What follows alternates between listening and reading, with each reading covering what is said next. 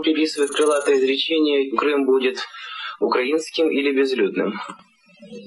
Да, это так. И это надо воспринимать не только как угрозу, хотя это, естественно, и угроза тоже, но как э, отражение действительности.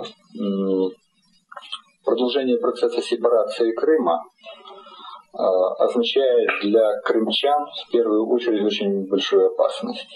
Там будет война.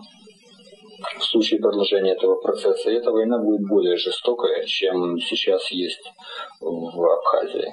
Войну развяжете вы? Там очень много э, людей, которые могут развязать эту, эту войну. Даже если самооборона, представить себе такое, не будет принимать участие в этих действиях, война там все равно будет. Война там все равно будет.